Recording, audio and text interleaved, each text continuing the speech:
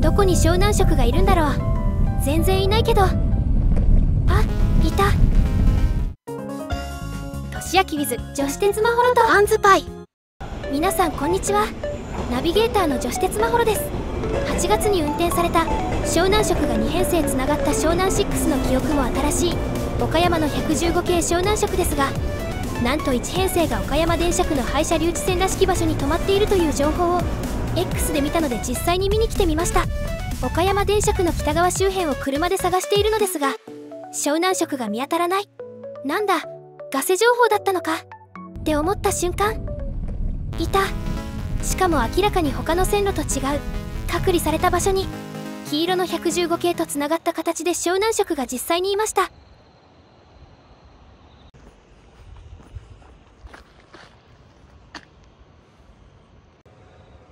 編成番号を確認すると。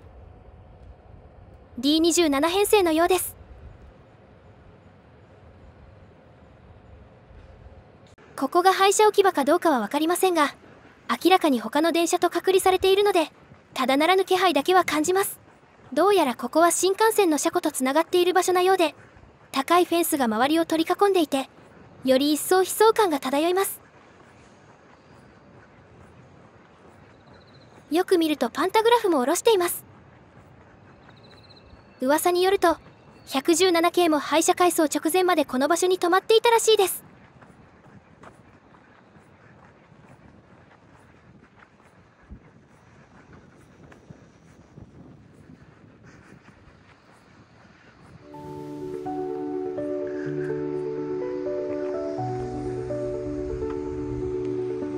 一緒につながっていた車両は車内が転換クロスになった編成でした。なんとこちらも貴重な平面顔。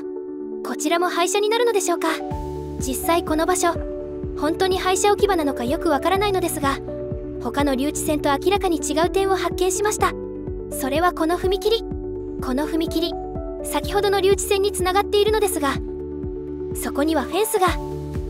いちいちフェンスを開けないといけないのですぐ使う電車だったらこんな場所に止めるはずがありません。ということは廃車じゃないにしても当分は動かないのは確定なようで。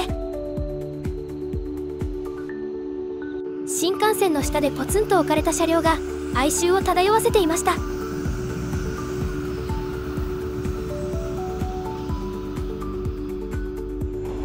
もう一本の D26 編成は今のところ元気に走っているようです。ですがこちらも今後が非常に気になるので115系湘南色かぼちゃ電車を撮影したり乗ったりしたい方はぜひお早めに岡山へお越しください。もしかしたら年は越せないかもしれません。ご案内はナビゲーターの女子鉄まほろ監修と撮影は中の人俊明でした。